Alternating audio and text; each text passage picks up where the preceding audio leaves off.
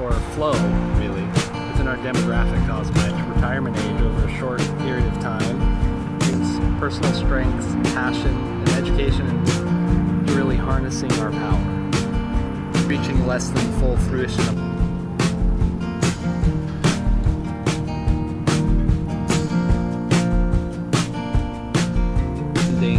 that we aren't even allowed to discuss.